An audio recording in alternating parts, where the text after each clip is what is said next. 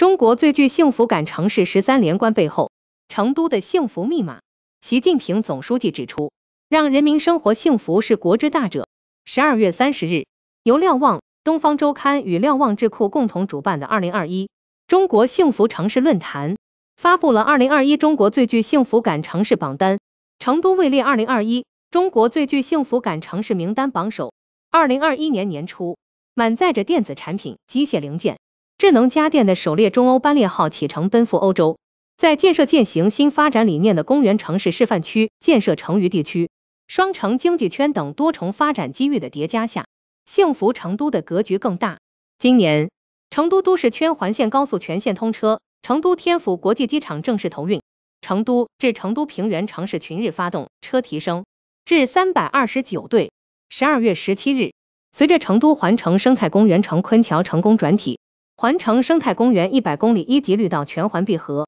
就在第二天，成都市民杨先生发现一只青头前鸭在兴隆湖湖面上开心玩耍。一千四百七十四台新电梯装进成都老小区，让居民体验到一键到家的幸福。新建和改扩建中小学、幼儿园六十六所，新增学位八点八万个，让居民体验到就近入学的幸福。全市二级以上综合医院全部开通老年人绿色通道。让居民体验到便捷就医的幸福。三千一百五十万元奖励资金免申级享发放到高新区，十八个项目让企业体验到政策找上门的幸福。打造一刻钟便民生活圈，让居民体验到近在楼下的幸福。